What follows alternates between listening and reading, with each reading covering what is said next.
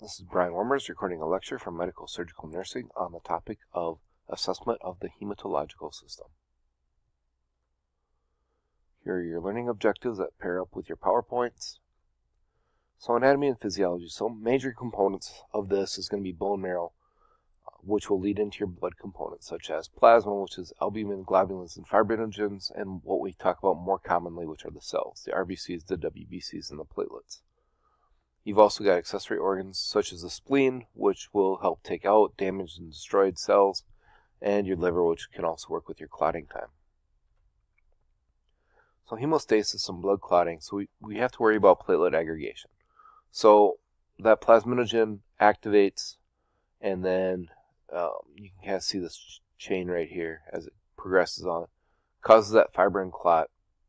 But then also we've got to also think about when we're going to stop that fibrin clot. Otherwise, we'd just be one big gelatinous mess. So we do have to have some anti-clotting forces to break that up when we're done with it and to prevent our body from clotting all over the place.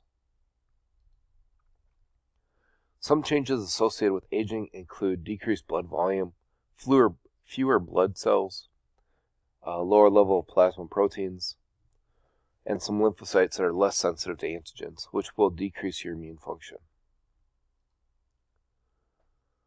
Assessment methods, of course, we want to get a good history. You know, we want to see their nutritional status. We want to look at their family history, genetic risk, what kind of um, side effects are they currently having, what meds are they on, what other diagnoses do they have, disease processes do they have. And then we can kind of do our head to toe. So looking at the skin, any rashes, any bruising, any petechiae, um, head and neck, any swollen lymph nodes or any of those things. Respiratory, how are they breathing? Um, any crackles, wheezes, cardiovascular wise, uh, do they have good pulses? Kidney and urine, are they making good urine output or are they having decreased volume issues? Musculoskeletal, what's the size of those muscles? Is it equal bilateral? How is their strength bilaterally? Abdominal, we can uh, palpate the abdomen. We can see if there's any masses or any other problems there. You can also look for any bruising on the abdomen. And then central nervous system, we can see how they're they're functioning. So diagnostics, some of the lab tests we can do would be a, a peripheral blood smear to look at the cells and the types of the cells we got. We can do a CBC to look at um, your red blood cells, your white blood cells, your platelets. We can do a reticulocyte count, which is looking at uh, how fast these cells are getting kicked out of the bone marrow. We can look at the hemoglobin electrophoresis to look at the, the hemoglobin size and shape and see what, what, what kind of quality they have. We can do a Coombs test, either direct or indirect, and Coombs test is looking for compatibility of blood products. We can do iron tests if they're um, anemic.